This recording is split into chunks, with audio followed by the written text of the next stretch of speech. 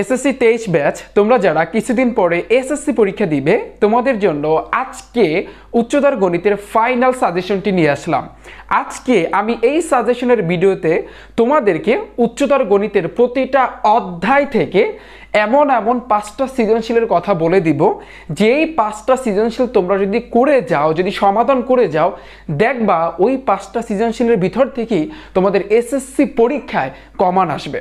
So তোমরা যদি একটু খেয়াল করো, এই জায়গাতে আমি কিন্তু তোমাদের উচ্চতর গণিতের প্রতিটা অধ্যায় এখানে কিন্তু তুলেছি এবং এইখানে প্রতিটা অধ্যায় থেকে আমি পাঁচটি সৃজনশীল সিলেক্ট করেছি এবং আমি এটা গ্যারান্টি দিতে পারি, আমি একশো পার্সেন্ট গ্যারান্টি দিচ্ছি যে তোমরা যদি প্রতিটা অধ্যায় থেকে এই পাঁচটা কইরা সৃজনশীল সমাধান করে যাও, এমনভাবে সমাধান করবা যেন ওই নিয়মে আসলে পরীক্ষায় অ্যান্সার দিতে পারো। এইভাবে তোমাদের সমাধান করতে হবে এবং তোমরা যদি জাস্ট এই পাঁচটা, পাঁচটার বাড়তি একটাও লাগবে না, একটা সৃজনশীলও করা লাগবে না জাস্ট তোমরা শুধুমাত্র পাঁচটা সৃজনশীল সমাধান করবা, প্রতিটা অধ্যায় থেকে, বাস এনাফ আর কিচ্ছু লাগবে না।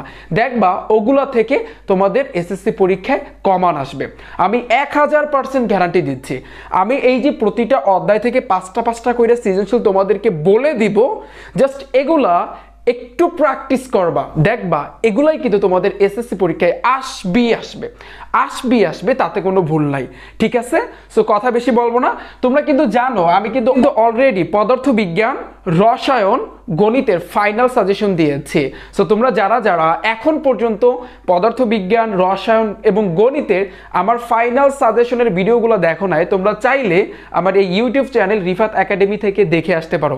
এবং সেইখানে গণিতের ক্ষেত্রে, রসায়নের ক্ষেত্রে প্রতিটা অধ্যায় থেকে আমি কিন্তু পাঁচটা পাঁচটা সৃজনশীলের কথা বলে দিচ্ছি ঠিক সেমভাবে আবার আমি কিন্তু পদার্থবিজ্ঞানের ক্ষেত্রে প্রতিটা অধ্যায় থেকে এই রকমভাবে অর্থাৎ সৃজনশীলের কথা বলে দিয়েছি। সো যারা যারা এখন পর্যন্ত আমার ওই পদার্থবিজ্ঞান, রসায়ন এবং গণিতের ফাইনাল সাজেশন দেখো নাই, তোমরা চাইলে আমার এই ইউটিউব চ্যানেল থেকে, অর্থাৎ সেই ভিডিওগুলো দেখে আসতে পারো ওকে সো আমি কথা বেশি বলব না, একটু খেয়াল করো এই জায়গাতে। প্রথমে আমি লিখেছি বীজগাণিতিক রাশি, অর্থাৎ উচ্চতর গণিতের দ্বিতীয় অধ্যায়। যেই অধ্যায়টা অনেকের কাছে ভালো লাগে বাট ম্যাক্সিমাম স্টুডেন্টের কাছে এই অধ্যায়টা একটু কঠিন লাগে। এর কারণ কি? এর একটাই কারণ। এর কারণটা হচ্ছে যে এই অধ্যায়ের ভিতরে আংশিক ভগ্নাংশ আছে। এবং এই আংশিক ভগ্নাংশ না পারার কারণে অনেক স্টুডেন্ট চায় এই অধ্যায়টাকে বাদ দিতে। বাট ভাইয়া, একটু যদি দেখো, এই যে এই অধ্যায়ের সবচেয়ে গুরুত্বপূর্ণ বিষয় হয়েছে আংশিক ভগ্নাংশ। আংশিক ভগ্নাংশের টোটাল পাঁচটা নিয়ম আছে। সো তুমি যদি একটু কষ্ট করে এই পাঁচটা নিয়ম একবার ধরতে পারো, তাহলে দেখবা যে দ্বিতীয় অধ্যায়ের মতো মজার কোনো অধ্যায় নাই। বাস্তব কথা, এই আংশিক ভগ্নাংশের পাঁচটা নিয়ম যদি তুমি একটু শিখতে পারো, তাহলে দেখবা যে দ্বিতীয় অধ্যায়ের সকল অঙ্কগুলো তোমার কাছে সহজ লাগতেছে। তো শুরুতে আমি সৃজনশীলের কথা বলব এবং এই ভিডিওর শেষের দিকে আমি এই প্রতিটা অধ্যায়ের এমসিকিউগুলো নিয়ে একটু আলোচনা করব, যে কোথা থেকে তোমরা এমসিকিউগুলো পড়বা। ঠিক আছে? তাহলে একটু খেয়াল করো।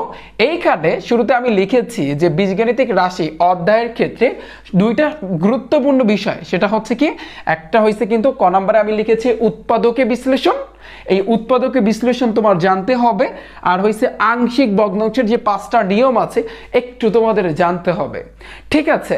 সো একটু খেয়াল করো, এই জায়গাতে এই দুইটা যারা পারে, তাদের কাছে কিন্তু এই অধ্যায়ের সব কিছু সহজ লাগে। কিন্তু তোমরা যারা যারা মোটামুটিও পারো, তোমাদেরকে আমি রিকোয়েস্ট করব তারপরে একটু প্র্যাকটিস করবা। ঠিক আছে?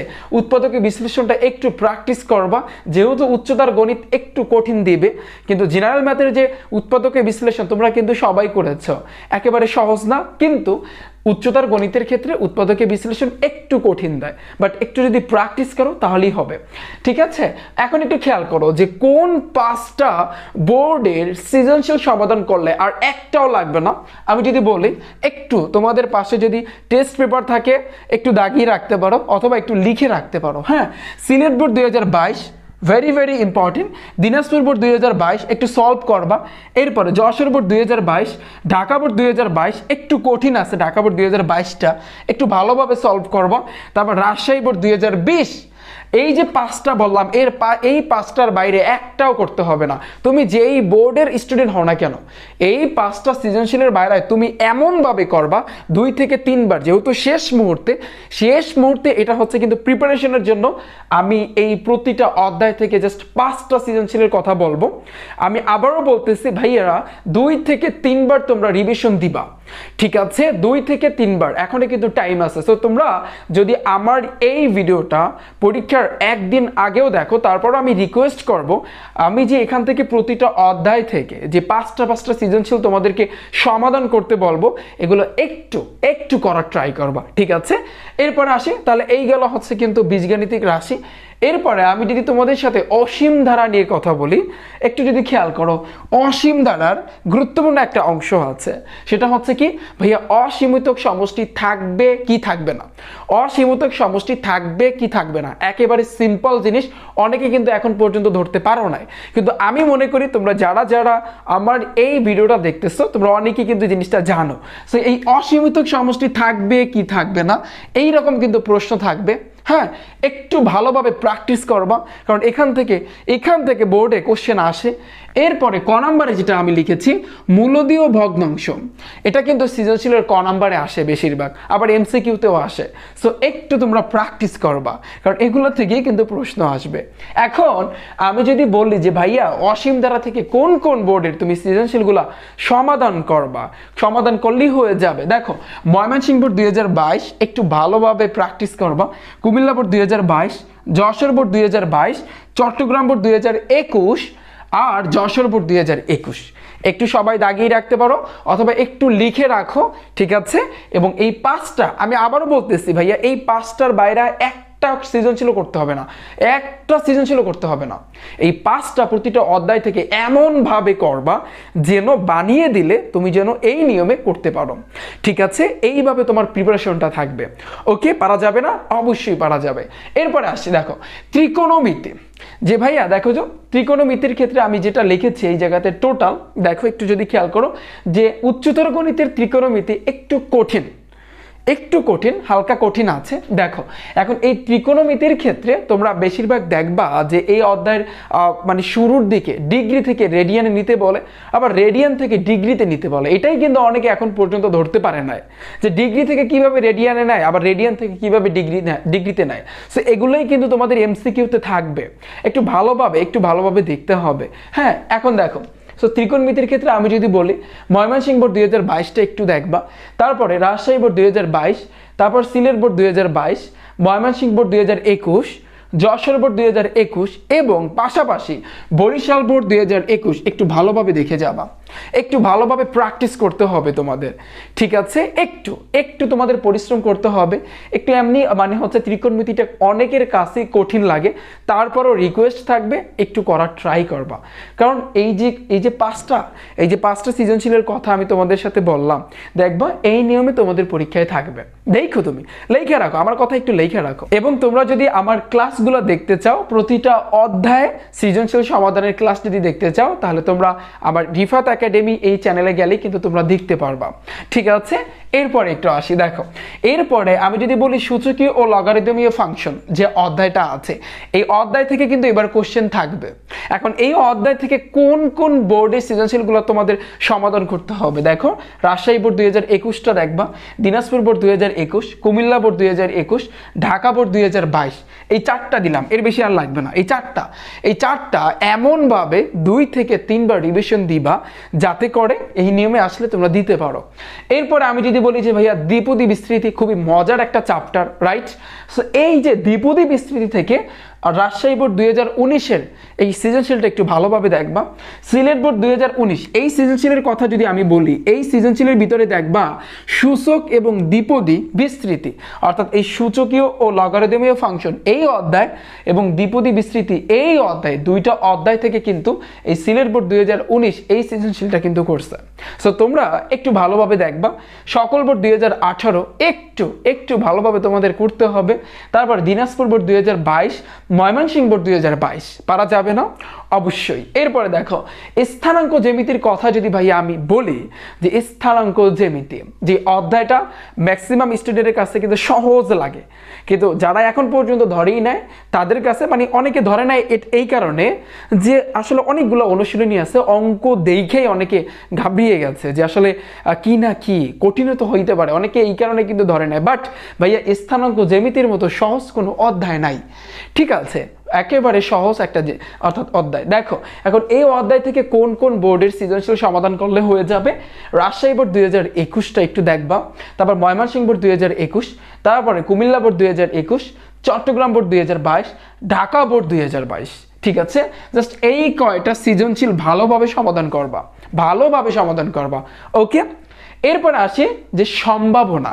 যে সম্ভাবনা অধ্যায়টা সবার কাছে কিন্তু কম বেশি ভালো লাগে রাইট কিন্তু সম্ভাবনার ভিতরেও এখন যেহেতু যতই দিন যাচ্ছে, ততই কিন্তু আস্তে আস্তে আপডেট হচ্ছে। মানে যতই দিন যাবে, একটু কঠিন প্রশ্ন করবে। সো এই কারণে একটু প্র্যাকটিস বেশি করতে হবে।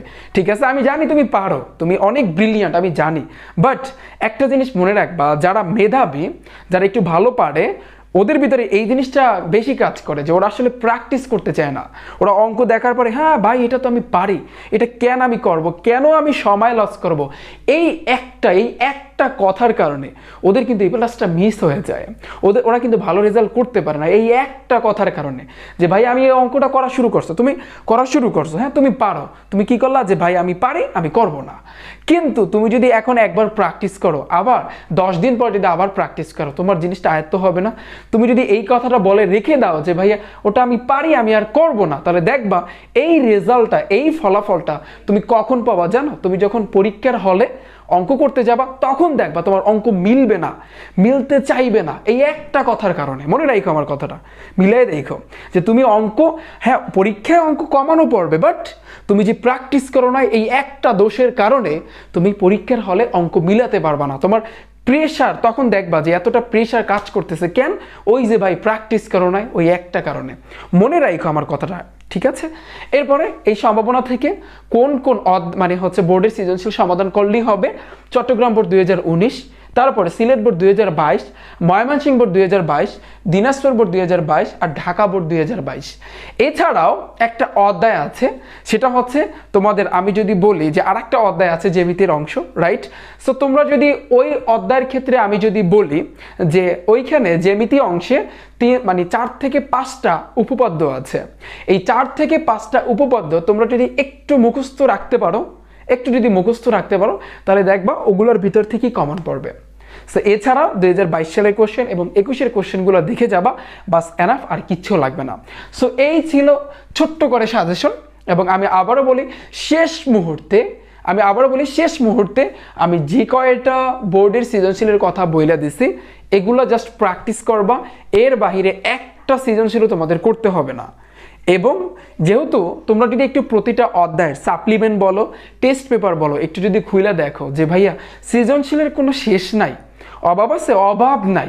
এখন তুমি যদি অতগুলো সৃজনশীল প্রতিটা অধ্যায় থেকে করো, তাহলে দেখবা তোমার মাথাটা গরম হয়ে যাবে। ঠিক আছে? একেবারে বিরক্তি লাগবে। এই কারণে এই যে পাঁচটা পাঁচটা করে দিছি, এমনভাবে এমনভাবে করবা। আবার এটা বলো না, আমি একবার করছি, শেষ। না, একবার না। একবার সমাধান করলে হবে না। তিন, অর্থাৎ দুই থেকে তিনবার রিভিশন দিতে হবে। দুই থেকে তিনবার রিভিশন দিতে হবে। তাহলে দেখবা পরীক্ষা এগুলো থেকেই আসবে এবং এগুলো থেকেই তোমরা দিয়ে আসতে পারবা। ওকে এখন আমি যদি বলি যে, ভাইয়া, যে এমসিকিউর ক্ষেত্রে কি করবা? তার আগে একটা কথা বলি। তোমরা যদি এই যে উচ্চতর গণিতের সাজেশন এখানে যে আমি লিখেছি, তোমরা যদি আমার নিজের হাতের লেখার নোট যদি পেতে চাও জাস্ট পিডিএফ আকারও দিতে পারি। সো যদি পেতে চাও, তাহলে তোমরা একটা কাজ করতে পারো। তোমরা সবাই ফেসবুকে গিয়ে সার্চ দিবা, রিফাত একাডেমি তাহলে কিন্তু আমার পেজটা চলে আসবে। অথবা আমি আমার এই ভিডিও ডিসক্রিপশন বক্সে লিঙ্ক দিয়ে রাখব আমার পেজের তোমরা চাইলে সেখানে গিয়ে আমাকে মেসেজ করবা এবং মেসেজ করে তোমরা যদি নোট চাও আমি তোমাদেরকে দিব। ওকে পার্সোনালি আমাকে মেসেজ দিতে পারো। আচ্ছা এখন আমি যদি বলি যে, ভাইয়া, যে এমসিকিউগুলো কি করবা? এমসিকিউর ক্ষেত্রে কি করবা? আমি যদি এমসিকিউর ক্ষেত্রে সাজেশনের যদি বলি দেখো, বীজগাণিতিক রাশি, শুরুতে এটার কথা যদি বলি, যে বীজগাণিতিক রাশি এই অধ্যায়ের এমসিকিউগুলো করার জন্য আগে তোমার বইয়ের উদাহরণগুলো একটু সমাধান করতে হবে। বইয়ের উদাহরণগুলো কি করতে হবে? একটু সমাধান করতে হবে, ঠিক আছে? আমি যদি বলি যে ওই যে বইয়ের ভিতরে কিন্তু আছে প্রতিসম রাশি, তারপর হচ্ছে আরও অনেক কিছু আছে। এরপরে আমি যদি বলি উৎপাদকে বিশ্লেষণ সো এই টাইপের যে ম্যাথ আছে, এগুলো আগে তোমাদের সমাধান করতে হবে। এরপর তোমরা যেটা করবা, আগে তোমরা সাপ্লিমেন্ট অথবা গাইডের এমসিকিউ গুলো সমাধান করবা। সাপ্লিমেন্ট অথবা গাইডের এমসিকিউ সমাধান করবা। তারপর তুমি টেস্ট পেপারের এমসিকিউ সমাধান করবা। কি বলেছি কথাটা? আগে তুমি গাইড অথবা সাপ্লিমেন্টের তোমার হচ্ছে এমসিকিউ গুলো সমাধান করবা দেন তুমি টেস্ট পেপারের এমসিকিউ গুলো সমাধান করবা। শুরুতে তুমি টেস্ট পেপারের এমসিকিউ ধরবা না। ঠিক আছে? এই কথাটা যেন মনে থাকে। আমি কিন্তু পদার্থবিজ্ঞানের ক্ষেত্রেও বলেছি, রসায়ন এবং গণিতের ক্ষেত্রেও এই একই কথা বলেছি। ওকে সো এমসিকিউগুলো একটু প্র্যাকটিস করবা। এই ছিল ছোট্ট একটা সাজেশন যারা যারা আমার পদার্থবিজ্ঞান, রসায়ন এবং গণিতের সাজেশনের ভিডিও দেখো নাই, তোমরা চাইলে আমার এই চ্যানেল থেকে দেখে আসতে পারো। ওকে সো তোমাদের সবার জন্য রইল শুভকামনা এবং এই সামনে বায়োলজির সাজেশনটা নিয়ে আসতেছি ওকে সো সবাই ভালোভাবে পরীক্ষা দিবে, এটাই আশা করি। সো সবাই ভালো থাকবে, সুস্থ থাকবে এবং রিফাত একাডেমির ইউটিউব চ্যানেল এবং ফেসবুক পেজের সাথেই থাকবে। আল্লাহ হাফেজ।